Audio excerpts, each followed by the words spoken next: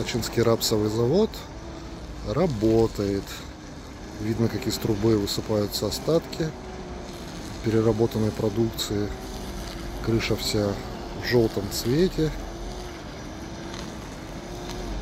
Не очень, видимо, все герметично. Все летит. Все, что перерабатывается на рапсовом заводе. Тут же лежит зала. Продолжает лежать, хотя частично ее вывезли. В общем, вот такое пищевое производство, до которому никому дела нет. Завод как работал, так и работает.